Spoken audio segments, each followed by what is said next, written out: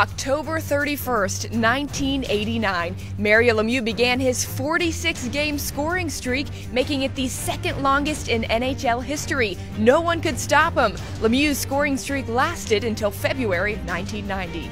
Allender over on right wing, holds it, steps into position, Healy down to make a save, Lemieux bangs in the rebound. Lemieux behind the net, he beats Bob goes to the puck, wraps it around into the net and scores 4 nothing Pittsburgh. One on one against Bob Mason. Lemieux breaks to the net, comes in, makes a move. He shoots and scores, and he beat him like a rented mule too.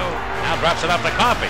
Coffey on the right wing in front of Lemieux looking for the hat trick. He shoots and scores. Manny Lemieux gets the hat trick. Healy battling for him too. Kevin Stevens has it, gives it to Lemieux. Lemieux holding, shooting, scoring.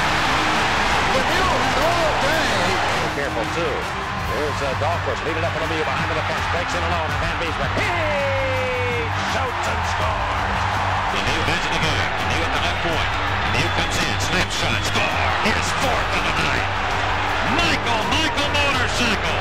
Intercepted by Robbie Brown. Still in the caps in. That's out of Lemieux. Shoots. And scores. Mario Lemieux Gets the goal. The Penguins have taken a 3 0 lead. Drops it to Mario. Lemieux comes in, cuts across the ice around Zombo. Great move. Comes in with a backhander. He shoots and scored. Oh, he beat him like a rented mule. And here's Lemieux feeding the puck to Coffey. Brown moving up the right side, takes the pass. Bob Brown puts it in the middle. Lemieux with a shot, he scores! Mark Recchi now.